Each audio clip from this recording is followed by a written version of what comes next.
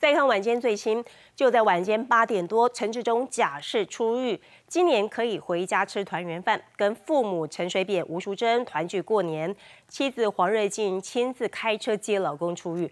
陈志忠被控协助母亲吴淑珍洗钱，加上伪证罪判刑定验，遭法院裁定执行一年两个月。去年五月入监之后，至今前前后后一共服刑九个月。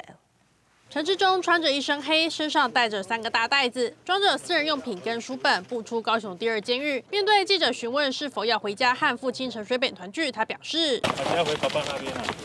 谢谢啊，哈，谢谢大家。面对任何问题，陈志忠都没有多做表示，只不断说着谢谢。这些都是你狱中看的书吗？谢谢。妻子黄瑞静开车来载老公回家，但全程都没有离开驾驶座。陈志忠匆匆上车，两人立刻驾车离开。